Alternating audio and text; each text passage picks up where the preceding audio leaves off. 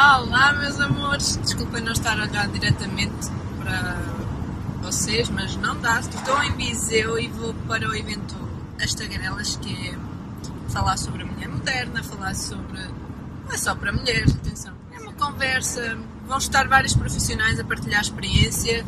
Vai ser super giro e eu vou-vos filmar algumas coisas. Vou filmar o que puder, não é? Que não vai ser fácil. Uh, e basicamente o evento uh, são dois dias, que é hoje, que é sexta. Hoje é às sete e meia no Hotel Durão, em Viseu. E amanhã vai ser no bar Utopia, em Jogueiros, também Viseu. E estava a cabeça cortada. Bem lá. Vai ser um evento muito giro. Vai haver catering, vai haver sorteios. Uh, o valor da entrada é um bem não perecível que é para oferecer a uma instituição local e é opcion totalmente opcional, mas pronto, se oferecerem vão estar, se levarem, aliás, vão estar a ajudar. Pessoal, eu ainda tinha pensado gravar o dia inteiro, mas depois achei que ia ficar uma seca. Ia gravar muito tempo e coisas que não são assim tão interessantes. Então só comecei a gravar mesmo agora. Eu tive-me a preparar. Não me dava de todo para fazer um Get Ready With Me, porque foi assim uma cena à pressa. Eu acabei de sair do trabalho, vim a casa, que é tipo 15 minutos de centro de Viseu, depois preparei-me e hum, estou a voltar para Viseu, então foi uma correria, foi super difícil e super difícil despachar-me, não é? Porque eu demoro algum tempo a preparar-me e fiz uma maquilhagem tipo boé a correr e o cabelo assim boé a correr, então eu espero que eu, este resultado do look esteja alguma coisa de jeito, eu já vos mostro assim que chegar ao hotel.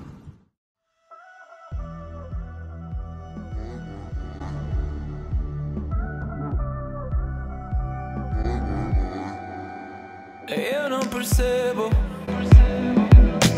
Sempre que pedes, eu sou-te sincero.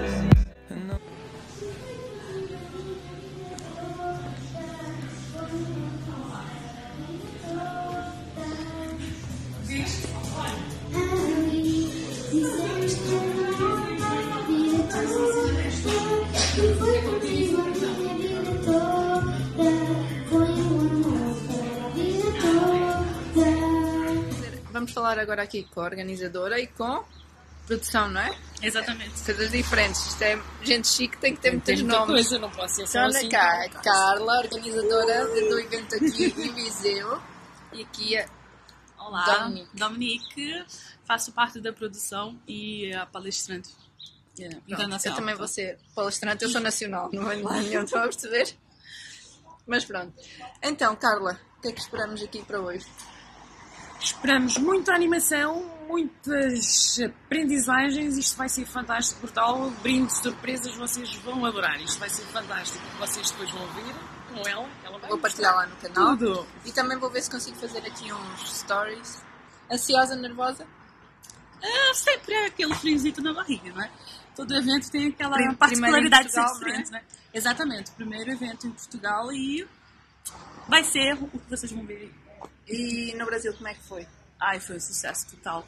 É, tivemos uma ronda de sete eventos é, e todos com a sua particularidade específica, de acordo com o seu público, né? E todos diferentes.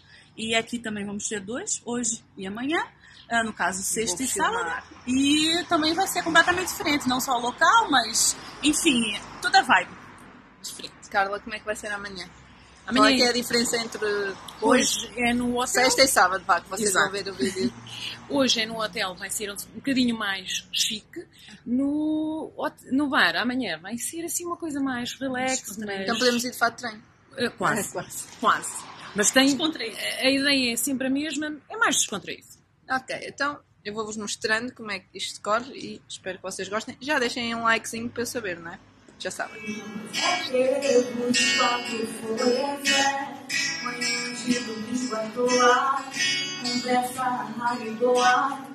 Pedaço de sonho que faz meu querer acordar. Vida, ai, ai, ai. O mar, ah, é a sorte que levar pra passear.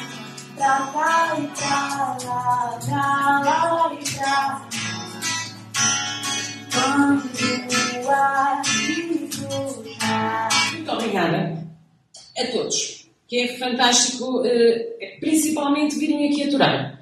Isto é complicado. Então, eh, vou-vos explicar uma coisa. Vocês receberam à entrada um saquinho, não é? Esse saquinho, se vocês procurarem lá dentro, tem um número. Eh, esse número vai ser usado para os, nossos, para os nossos sorteios, que estão ali os brindes todos. Eh, se consi- Ah, pois aqui não tenho, mas vocês estão Conseguiram descobrir o número? Senão não vão ter direito a nada. Não? Pronto, entretanto vocês já viram todas as, as ofertas que tem o saquinho, não é? Pronto, então agora podem virar o saco ao contrário porque o número está por baixo. Pronto, guardem o saquinho que esse número é exatamente o que vos vai servir para os sorteios.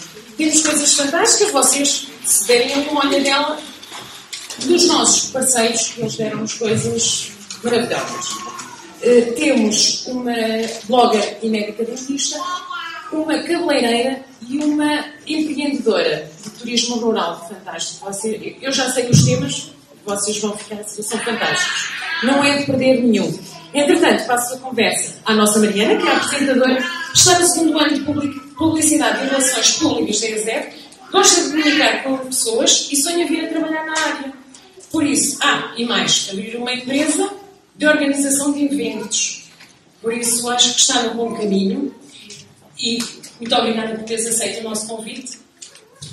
E passo a palavra agora em convite. Obrigada. Uma salva de palmas para ela. desafios é ao facto de ser blogger. Qual é o desafio que acha que deve destacar? O maior desafio eh, de quem é blogger ou digital influencer é mesmo desligar das redes. Sem dúvida. Porque nós estamos sempre ou a ver a foto de alguém, ou a procurar conteúdo, ou a ver o que é que está na moda, o que é que está mais in, não é? Eh, o mais difícil é mesmo desligar e conciliar com, com as outras profissões, não é? Porque não fazemos isto a tempo inteiro. E também conciliar com a família, com o meu filho, que eu tenho um filho, com o meu marido, tudo isso é, é um desafio, mas essencialmente o desligarmos, porque precisamos desses momentos em que desligamos e relaxamos. Então no blog é um bocadinho difícil, extremamente difícil. As anexas a segurar os, os ganchinhos, não é? Para, enfim, os grampozinhos no cabelo. Estão a contar? Dois. Estender e pôr um bocadinho de lata para sentirem uma certa fixação no cabelo, podem fazê-lo. Não precisamos elevar muito o cabelo. Não precisamos fazer poucas muito altas, nem à frente, nem na parte superior. Hoje é bonito usar um, um cabelo desmanchado, desarrumado. Muitas das vezes elas vão ao cabeleireiro pedirem um cabelo desmanchado e eu vejo uma fleca para fazer, certo? Que elas podem fazê-lo em casa e vão gastar o dinheiro a pagar para fazer uma coisa tão simples como pôr três ganchinhos no cabelo. Podes levantar. O resultado ficou fantástico, não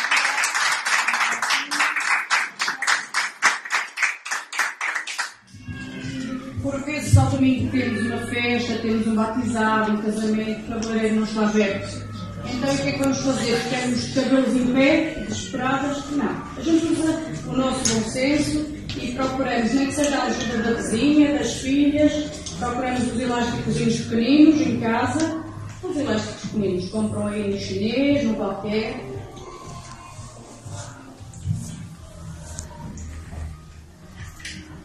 fazem umas simples tranças. Se tiverem cabelo muito comprido, pedem lá está auxílio, nem que seja a vizinha, para fazer as tranças. Eu não trouxe nada de especial, nem de máquinas para fazer caracóis, nem nada disso. Porquê? Porque isto seria só apenas umas pequenas dicas para a pessoa poder fazer em casa. Há quem não possua esses equipamentos em casa, não é? Por isso é que, eh, apesar de ter ali por acaso um ou dois necessários, mas acho que não vale a pena estarmos a perder tempo a demonstrar, se a pessoa não estiver em casa, não vai aprender nada com, com o meu ferro, não é? Não tem nada para utilizar. Ou com o meu babyliss, ou com a minha prancha. Quem tiver que consiga utilizar, é sempre uma mais-valia num penteado, porque consegue fazer um liso mais aperfeiçoado, ou até mesmo um caracol para realçar mais e segurar mais o penteado. Por vezes essas técnicas são muito importantes. Quem é que aqui já tentou fazer um penteado e não foi bem sucedido? Eu também. Você cortou o cabelo. Ok. Eu tenho uma dúvida. Por exemplo, aqui tem da, da nossa outra Mariana. Acha que tranças desse género ia resultar? É, ela ia ficar com o cabelo muito apertadinho, não é? É, sinceramente não era o que eu aconselhava, não é? Porque ela já tem o cabelo frisado e fazer a trança não lhe vai realçar a quase nada. Mas se ela o machucar mais um bocadinho, eh, ripar um bocadinho na lateral, vai parecer que tem muito mais comprimento do que o cabelo que tem e se colocar um acessório clarinho no cabelo, ficava o ideal para uma festa. E ela deve ter essa noção. não é?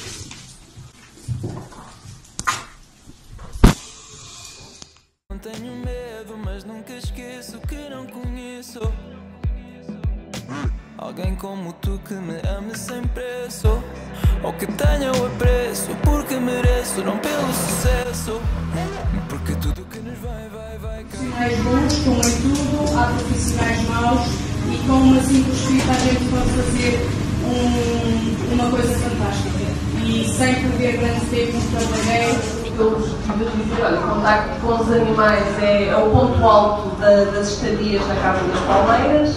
Eh, a hora da alimentação dos animais é procurada por adultos e graúdos, por adultos e pelas crianças, não é? Eh, e é nessa altura que eles se reúnem ao pé da aldeia da Bicharada, à espera da alimentação dos animais, de irem buscar os ovos, tirar o leite à por exemplo, fazemos queijo de cabra também. Ah, isso foi uma- um dos tais desafios que eu tive, porque eu não sabia tirar leite de uma cabra, ah, não sabia fazer queijo e aprendi a fazer. Aprendi a fazer tudo isso e agora fazemos, faço workshops com, com os hóspedes, ah, que eles adoram. Realmente aprender a fazer queijo, a tirar leite às cabras é muito engraçado. Trocaria as horas de trabalho a mais na Casa das Palmeiras pelo anterior trabalho que tinha? Às vezes sim, mas na maior parte do tempo não. É uma mudança muito radical, porque deixei de ter fins de semana, de- deixei de ter as férias de verão, praia, deixei de ter feriados. Ah, é verdade que quando quero tirar férias, fecho a porta e tiro duas semanas de férias, ah, mas as horas de trabalho que passei a ter de um trabalho mais ou menos convencional de escritório, em que à sexta-feira chegava a casa às 7 da tarde, ia, ia para a ecopista, chegava a casa, fazia o jantar, estava no sofá, via televisão, lia um livro, acabou. Eu agora trabalho basicamente só no sol, ou seja, levanto mais cedo, não é cedo, ainda bem, mas depois só chego a casa por volta das 9, 9 e meia quando o sol se põe, porque há sempre coisas a fazer e por mais que eu tente ir para casa mais cedo, estou sempre a pensar, "Então, mas ainda não fiz isto, não fiz isto, não fiz isto, e há sempre milhares de coisas para fazer, e... mas não trocava. Não trocava porque é isto que me faz avançar, é isto que me faz feliz e este é o meu projeto, não é? É muito diferente nós trabalharmos para nós próprios do que estarmos a trabalhar para outra pessoa e realmente faz a diferença eh, este tipo de, de objetos para Dá para ver pelas imagens que são para além da estadia, se calhar algum tipo de diferentes eventos. Sim, nós temos também, desde setembro, temos a Quinta Pedagógica, basicamente já existia, não é? Não estava, era a ser divulgada. Ah, a Quinta Pedagógica faz agora, hum, desde setembro, temos atividades ah, mais ou menos 15 em 15 dias, 3 em 3 semanas, ao fim de semana. Temos aniversários também para as crianças, com um espaço destes, que inclui um campo de futebol, ou seja, quando é aniversário de rapazes, é, é muito bom para eles.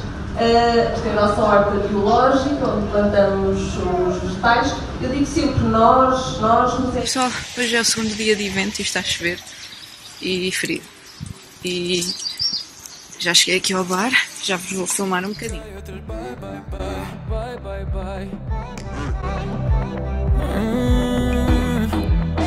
E quem queremos mais vai vai sai sai outras bye bye bye bye bye bye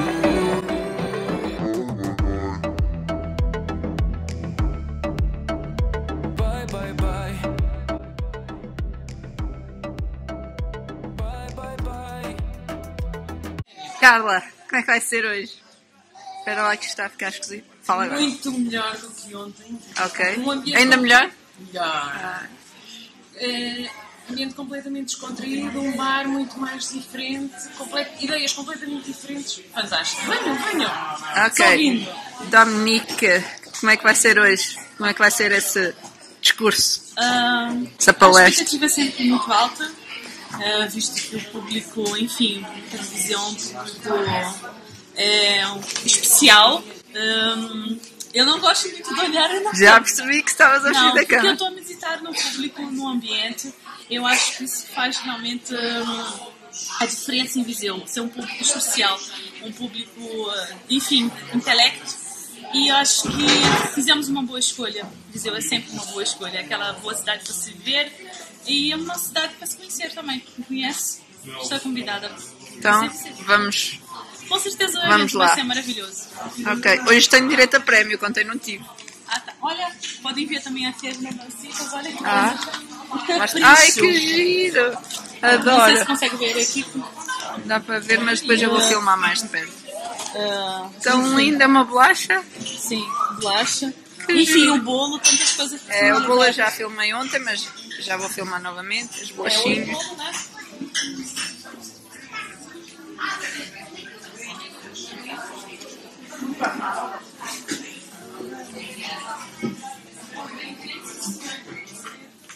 Têm AECs, outros não têm, muitos pais saem ao fim do dia, e então aí tem que haver alguém que os substitua durante um bocadinho e os ocupe, eh, não só eh, tirando as dúvidas que eles têm, não só ajudando na parte escolar, mas também na outra parte que é muito importante, que é a sua formação, que é brincarem também.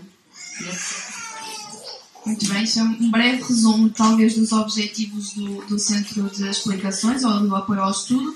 Por isso, se calhar, finalizava eh, esta parte dizendo que é importante para si a aprendizagem.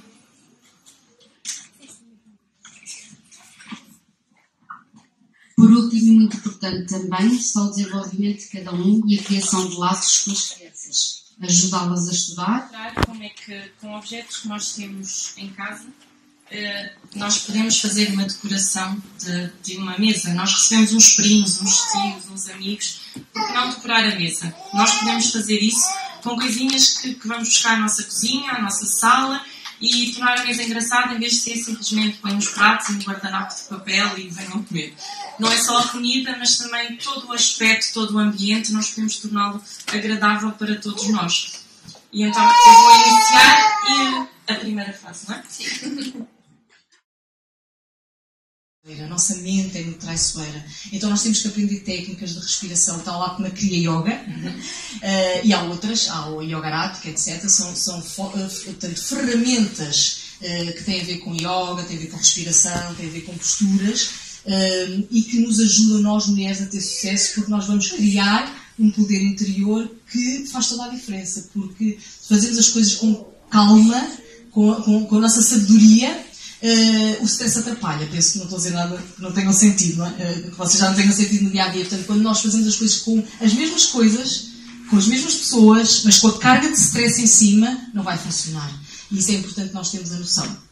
Depois é definir prioridades para conseguirmos fin- finalizar a semana e termos a nossa agenda realmente preenchida, definimos prioridades. E as prioridades para uma pessoa pode ser a família, naquele momento é a prioridade, e depois há um conselho que dou a toda a gente para ter sucesso na vida, então com mulher, que é onde estivermos, estejam lá. Ou seja, se eu estou naquele momento a cuidar dos meus filhos, eu tenho que estar lá. Nem que sejam só, nem que seja só meia hora. Se eu só tenho meia hora, então aquela meia hora tem que estar lá. Eu não posso ter a minha cabeça no outro lado. Isso foi um dos segredos que eu aprendi muito cedo. Porque eu, na altura, quando iniciei a minha atividade como psicóloga, com apenas 22 anos, eu estava dos 22 aos 25 e eu conseguia arranjar 5 part-times. E estava a tirar uma estrada em Coimbra. Um, e depois ainda aderi mais um projeto empresarial. Portanto, eu não tinha muito tempo, eu tinha que conseguir coordenar tudo. E então, uh, uh, há uma coisa que eu fazia. Se eu estava no hospital a trabalhar, eu estava no hospital a trabalhar. Não estava a pensar na consulta que ia dar a seguir. Se eu ia para a escola a seguir, Quer dar uma andada? Olha, pode pôr o carro a trabalhar. A pessoa começa a se sentir dono daquilo. Sem ser. A pessoa começa a sonhar com aquilo, com o cheiro do carro. Hum, carrinho com um carro, cheiro novo, é tão bom, né? Pessoa olha assim, hum, que ela, eu pelo menos fico louca. Estratégia. Estratégia. Ahn, dicas de crescimento. Se tem funcionário. Eu escrevi exatamente isso em 10 minutos antes do evento. Preocupe-se com a sua equipa. Muitas vezes a pessoa quer vender, quer ficar rico, mas não quer saber se o funcionário está bem ou não está. E a cara do funcionário, muitas vezes, quando o dono está, é assim. Quando o dono sai, é assim. E isso assusta. Não venda. Então, tenta criar uma ligação com a pessoa que está a dar a cara à, à tua imagem, né? no caso, à tua empresa. Meus amores, já acabou o evento. Eu espero que vocês tenham gostado deste vídeo. Já deixem um like, partilhem com os vossos amigos. Sigam-me lá no Instagram e nas outras redes sociais e também no site do blog www.apatriciateixeira.com. Beijinhos e até o próximo vídeo.